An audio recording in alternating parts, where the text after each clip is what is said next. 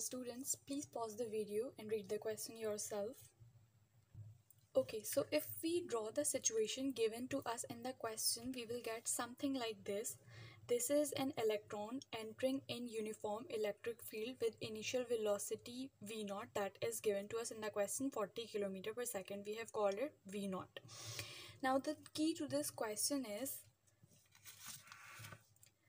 a negative charge in an electric field will experience an electric force directed opposite to the direction of the field. So if this is the direction of electric field, this negative charge that is electron will experience electric field towards this side. So let's call that force Fe. Now we know that the acceleration of a body is given by sum of all the forces divided by the mass. In this case, we only have one force that is this electrical force Fe. But do not forget to substitute a negative sign here because the direction is opposite. So we have substituted instead of force the electrical force that is uh, the force acting on this uh, negative charge particle over m. Now we know that electric field is the product of magnitude of electric for uh, magnitude of this e and charge q so replace fe by this e and q over m. Now we have all the uh, things given to us in the question. We just need to substitute the values and get the acceleration uh, negative. E is 50 that is electric field magnitude of electric field the charge is because it's an electron so the charge of an electron is 1.6 exponent minus 19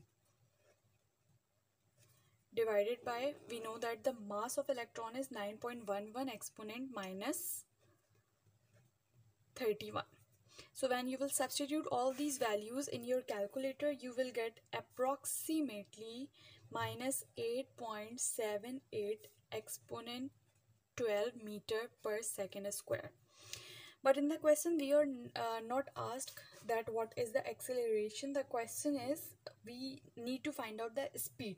So we know that the speed is final velocity. Okay we can say the final velocity. Final velocity is v naught plus a into t so we know that initial velocity is given to us 40 kilometer per second. So we need to substitute uh, it in standard units. To convert it in standard units we have to replace the kilo like this. Plus the value of acceleration we have find out. Substitute this value. And the time is given to us in the question that is 1.5 nanosecond. So in second it will be 1.5 exponent minus 9 so when you will substitute all these values in your calculator you will get the final uh, velocity uh, approximately 2.7 exponent 4 meter per second. This is the solution for part a. Now part b part b in part b we are asked about the distance the distance the electron will travel in 1.5 nanosecond interval so we know that the formula for the distance is final velocity plus initial velocity over 2 and time. We have all the values, just substitute the values in standard units. I have substituted all the values. VF, we have find out have uh, over here, V naught was given to us in the question over 2 and the time we will take this time 1.5 nanosecond. So when you will substitute all these values in your calculator, you will get 5 exponent minus 5 meter means this is the distance the electron will travel in 1.5 nanosecond uh, i hope you like the video and if you have any query you can ask me in the comment section. Please don't forget to subscribe my channel.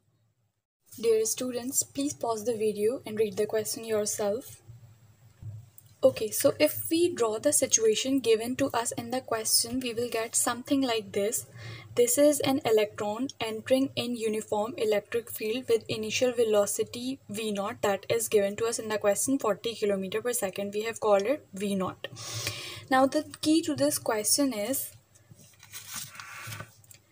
A negative charge in an electric field will experience an electric force directed opposite to the direction of the field. So if this is the direction of electric field, this negative charge that is electron will experience electric field towards this side. So let's call that force Fe. Now we know that the acceleration of a body is given by sum of all the forces divided by the mass. In this case, we only have one force that is this electrical force Fe. But do not forget to substitute a negative sign here because the direction is opposite. So we have substituted instead of force the electrical force that is uh, the force acting on this uh, negative charge particle over m. Now we know that electric field is the product of magnitude of electric for uh, magnitude of this E and charge Q. So replace Fe by this E and Q over M. Now we have all the uh, things given to us in the question. We just need to substitute the values and get the acceleration uh, negative. E is 50 that is electric field magnitude of electric field the charge is because it's an electron so the charge of an electron is 1.6 exponent minus 19 divided by we know that the mass of electron is 9.11 exponent minus 31 so when you will substitute all these values in your calculator you will get approximately minus 8.78 exponent 12 meter per second square. But in the question we are uh, not asked that what is the acceleration. The question is we need to find out the speed. So we know that the speed is final velocity. Okay we can say the final velocity. Final velocity is v naught plus a into t so we know that initial velocity is given to us 40 kilometer per second. So we need to substitute uh, it in standard units. To convert it in standard units, we have to replace the kilo like this plus the value of acceleration we have find out substitute this value and the time is given to us in the question that is 1.5 nanosecond so in second it will be 1.5 exponent minus 9 so when you will substitute all these values in your calculator you will get the final uh, velocity uh, approximately 2.7 exponent 4 meter per second. This is the solution for part a. Now part b Part B, in part B, we are asked about the distance. The distance the electron will travel in 1.5 nanosecond interval. So we know that the formula for the distance is final velocity plus initial velocity over 2 and time. We have all the values, just substitute the values in standard units. I have substituted all the values. VF we have find out VF found, uh, over here. V naught was given to us in the question over 2 and the time we will take this time 1.5 nanosecond.